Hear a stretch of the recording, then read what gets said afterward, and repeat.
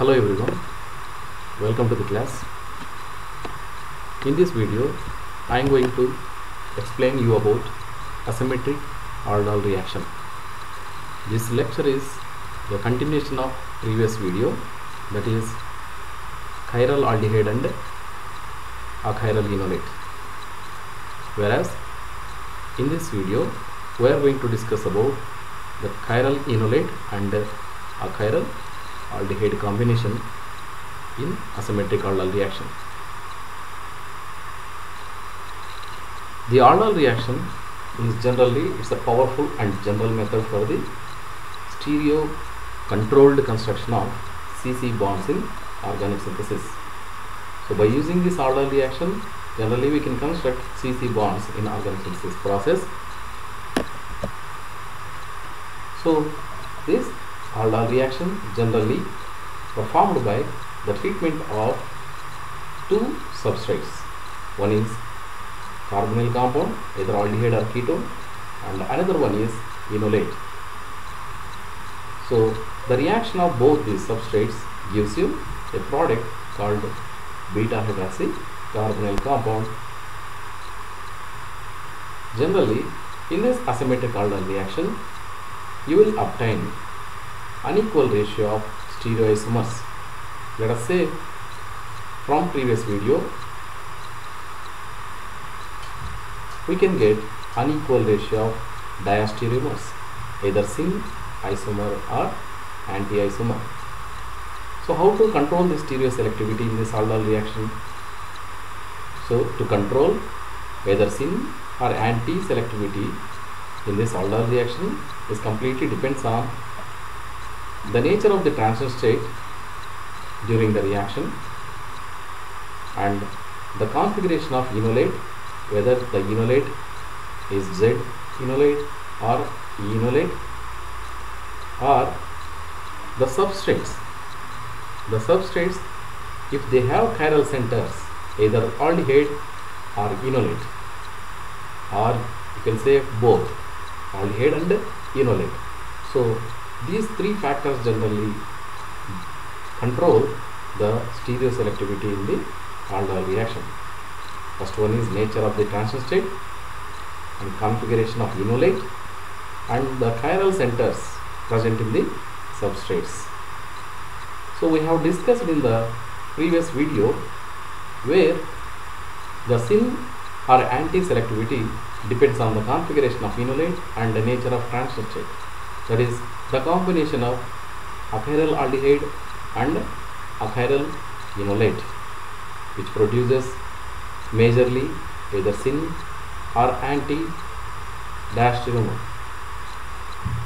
In general, the Z enolate produces syn diastereomer majorly, whereas E enolate produces anti diastereomer majorly. Coming to the diastereophase selective reaction, that means in the previous video we have started the discussion of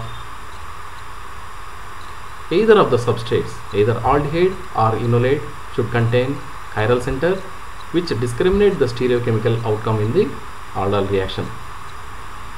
For example if you have if you have aldehyde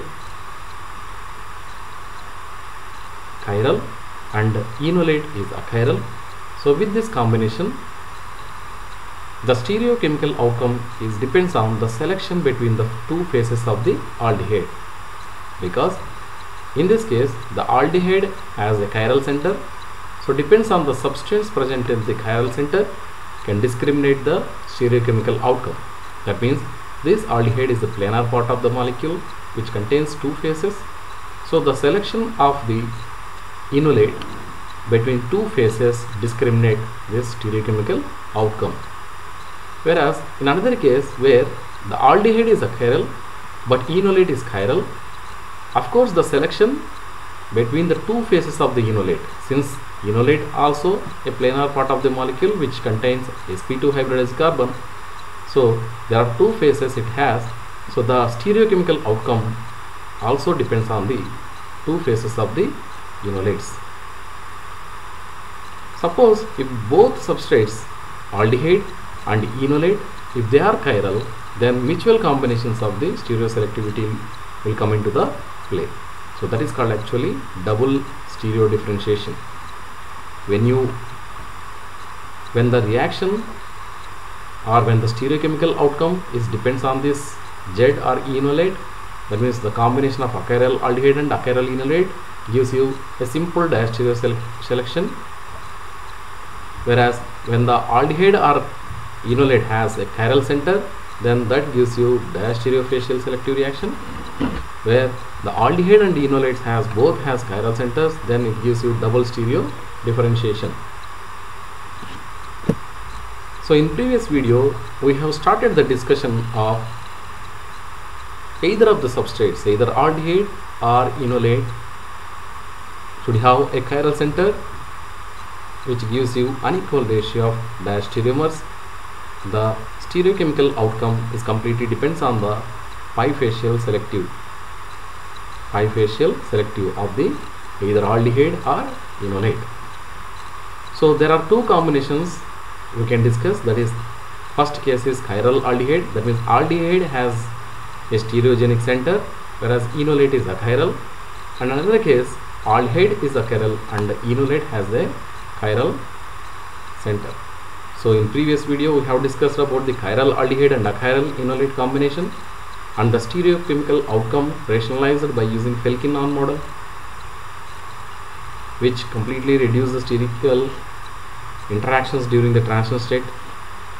Now let us discuss about the other combination where aldehyde is a chiral and enolate has a stereogenic center.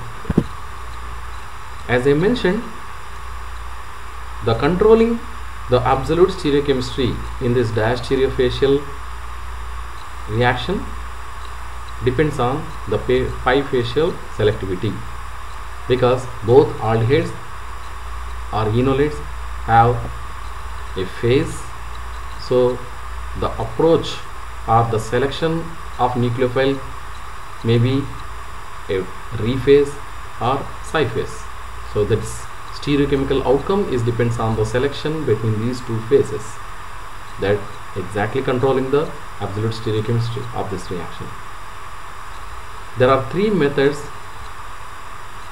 we can control the stereochemical outcome in this diastereofacial reactions. One is substrate control, auxiliary control and reagent control.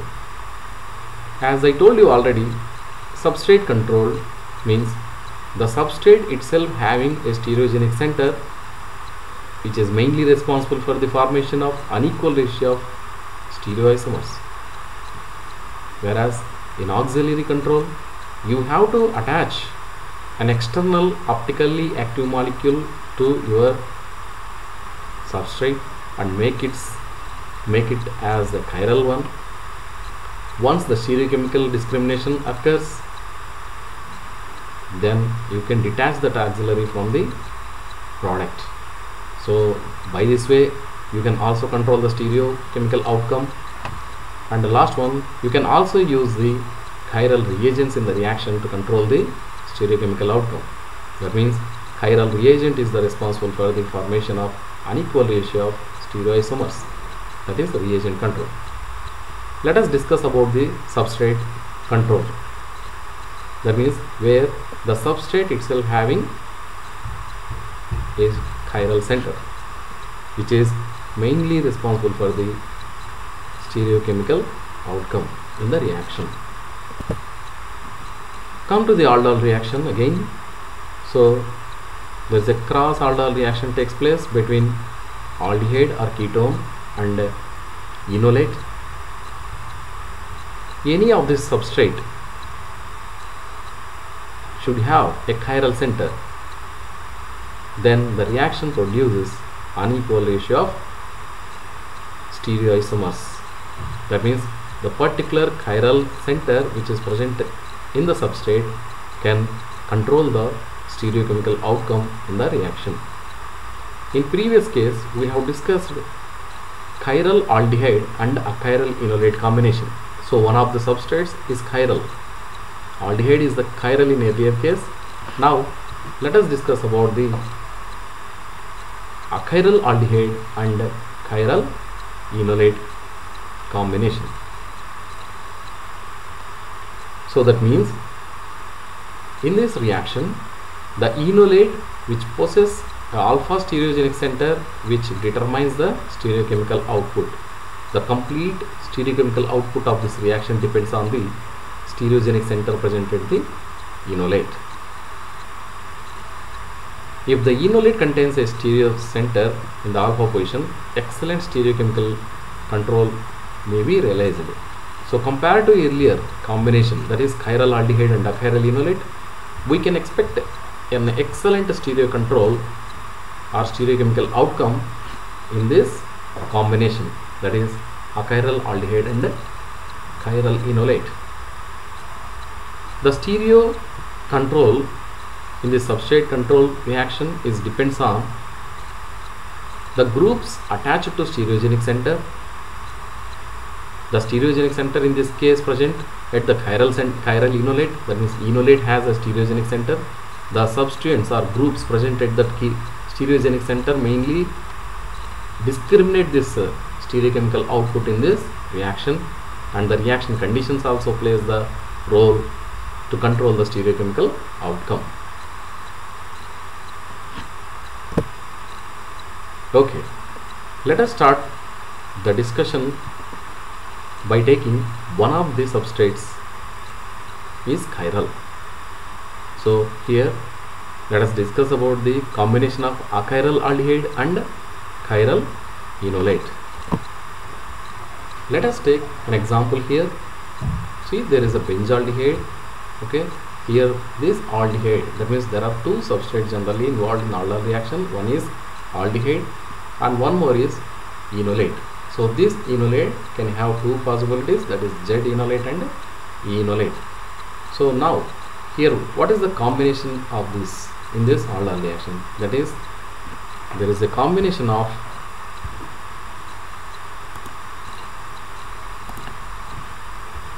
combination of achiral aldehyde and a chiral enolate why are you calling this a chiral enolate because this enolate has a stereogenic center.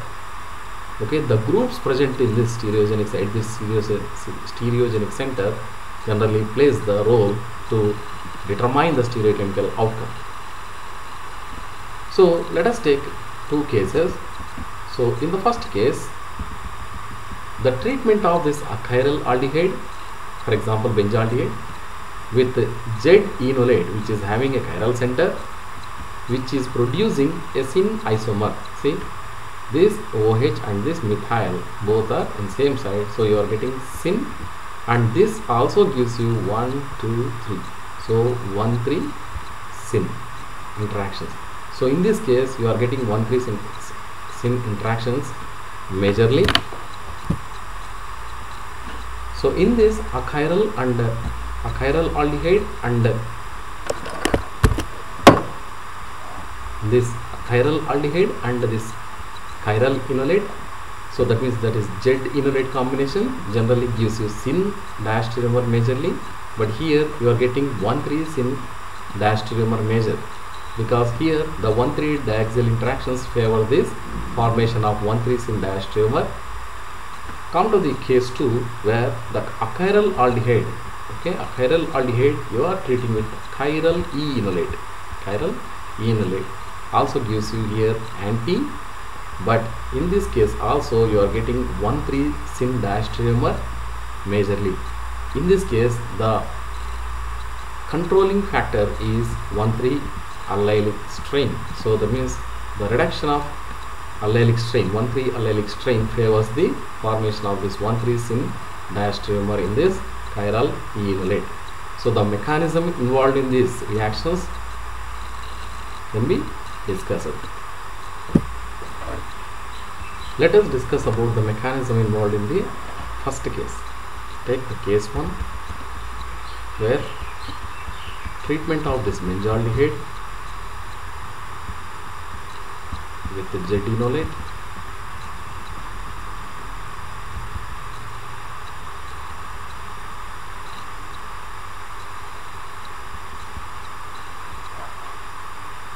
which is having a hell center here so which is giving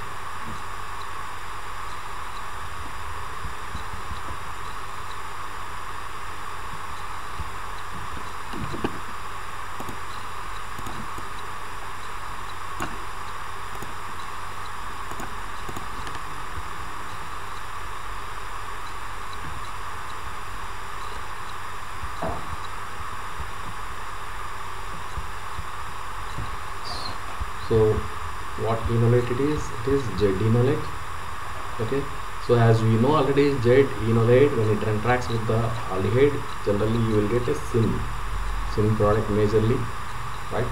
So since it has a chiral center now the substrate the substrate present at this chiral center gets coordinate the outcome okay? So how you are getting this 1 3 syn dash majorly here? Let us go through the mechanism now so treatment of this benzaldehyde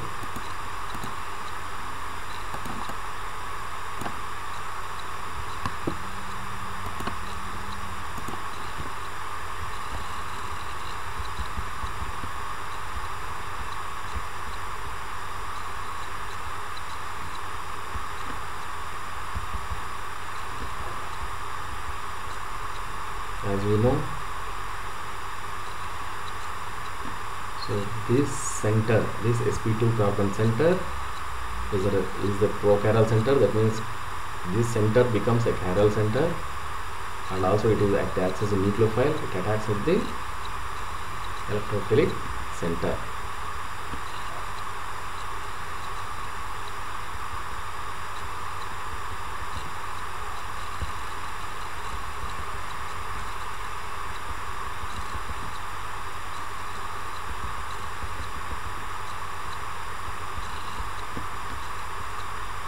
so here there is a bond making.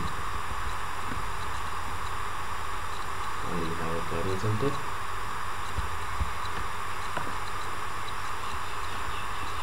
So let us say one two three four five and this metal is six. So one two and this is third position this third position this metal is an axial position and this H is equatorial. Now here the H is zero and here it is. So fourth position and fifth and this number six. So like again come to here this is one and this is two and three and see here there is a H present here which is small atom and there is a R present at this center right okay so so here you have less 1,3 diaxial interactions. 1,3 diaxial interactions. That means so the sterical repulsions between these two groups or atom and group will be minimized okay or feel less sterically strained so that's why this translate is favor here. And then consider this phenyl which is in equatorial first position and this methyl is in axial. So 1 2 position and equatorial and axial generally considered as cis. So that means are syn so that is the reason you are getting a product syn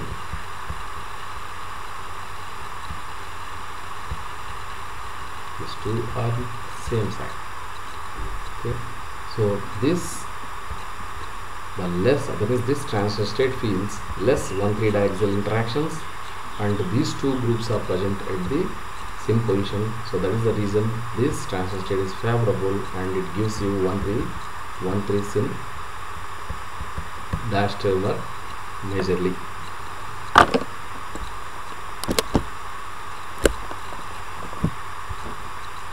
Come to the mechanism of PS2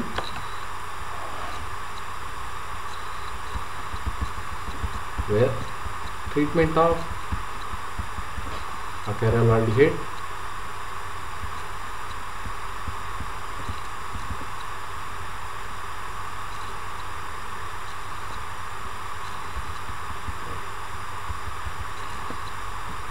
with the E enolate which is having a stereogenic center so that means it's a chiral enolate and you are treating with achiral aldehyde. So this reaction produce okay, as we know E enolate generally gives you anti diastereomer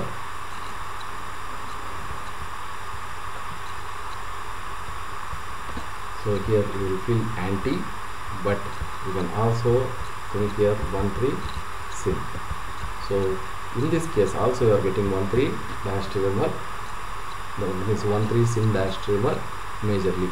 So what is the reason behind this? But as usual the reaction of aldehyde achiral aldehyde with the E enolate generally gives you anti as we know this. When we discussed in the achiral and achiral enolate achiral aldehyde and achiral enolate combination Z enolates generally prefer syn diastereomer majorly and uh, E enolates prefers the anti. So the same way we can write here okay. So let us discuss about the mechanism involved in this. Let us have a electrophilic carbon that is aldehyde.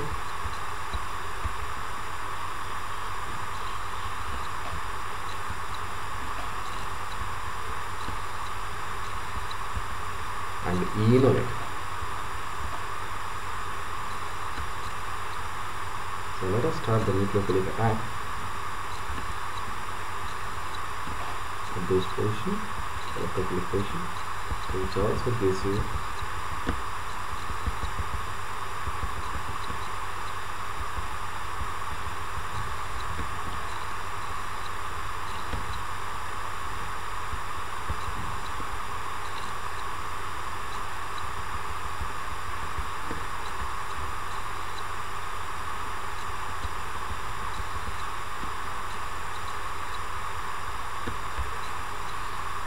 to this oxygen oxygen followed by chiral center. In this chiral center methyl is above and so hydrogen is below and in this case we have here methyl and hydrogen axial position and phenyl equilibrium as H is axial. So in this case you are also feeling less sterical interactions between these two 1 3 axial interaction and one more thing see this is if you observe carefully this is here. It has allylic proton allylic proton. So allylic proton. So this methyl and this methyl which has that means in this transition state generally there is a minimization of minimization of 1 3 allyl okay 1 3 allyl interactions takes place 1 3 allyl interactions. So the minimization of 1 3 allyl interactions generally favorable for this 1 3 syn diastereomer in this reaction okay? You have sterical rest repulsions between these two. Okay? Here one two three. That means three three sub these two substrates one three position substrates. And one more factor here is the one minimization of one three allyl interactions. If there is a less interaction you can observe here. So it is an allylic position okay? This H is an allyl position. So there is a minimization of allyl because this H is present at back position and this methyl is present at the front. So that you are feeling less interactions in this transition state so this transition state is favorable. So that and you can consider this 1 and 2 where this phenyl is present at this equatorial and this methyl is present equatorial. So as we know at 1 2 position in shape equatorial equatorial generally gives you trans or anti. So that is the reason this phenyl that is this product gives you anti anti product majorly but still you are getting 1 3 syn diastereomer which is like Z enolate. What you are getting in Z enolate, the same 1,3 syn diastereomer you are getting here because of the minimization of 1,3 allyl interaction. Okay, so but as usual, the OH and this methyl both are in anti-position. Okay, this is about the mechanism of this achiral aldehyde and chiral enolate. So we can also take another example like this. So it is exactly reverse. I flipped horizontally. So if you consider a earlier example, so this is also Z enolate where it has R and one more E enolate that is also R, both having uh, same chiral center, but only thing is the descriptors are different. Z and E and the positions of these uh, groups are at this double bond is different. The same thing we written reversely. So take this example here. The same thing this Z enolate when you treat with the aldehyde. So generally here you are getting 1,3 syn diastereomer majorly, whereas E enolate when you treat with the aldehyde, chiral aldehyde. So here also you are getting 1,3 syn, 1,3 syn diastereomer majorly. But if you observe this methyl and OH is anti. So as we know chiral aldehyde, but generally E enolates gives you anti products majorly and the Z enolates gives you a syn product majorly. The same thing we have discussed in the previous examples. So as I mentioned, so this Z enolate when it undergoes reaction, so there are two transition states you are getting. So here this transition state, the first transition state is favorable because the 1,3 diaxial interactions are less. See the control element in this Z enolate is the avoidance of 1,3 diaxial interactions. Whereas for E enolate for E enolate you are getting 1,3 syn 1,3 syn diastereomer favorable that means formation is favorable because the dominant control element here is allylic 1,3 strain see? Allylic 1,3 strain so the same thing we have discussed here. The same allylic this methyl and this allylic H. The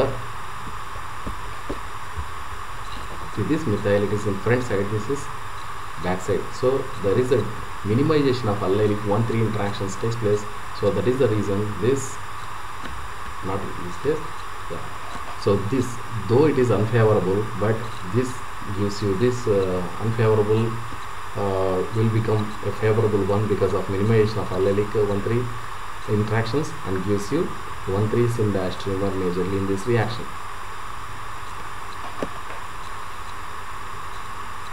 So so far we have discussed about simple diastereoselective reactions where achiral aldehyde and achiral enolate combinations gives you diastereoselective reaction where only enolates are playing role to control the stereochemical outcome.